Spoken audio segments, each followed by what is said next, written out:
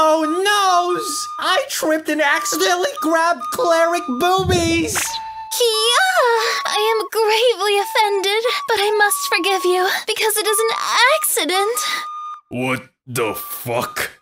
Is he a harem MC or something? Similar.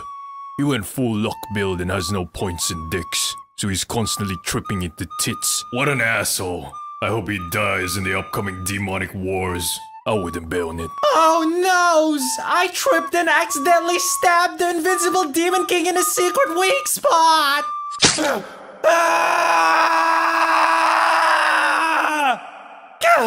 How did you know that was the one location where I was vulnerable?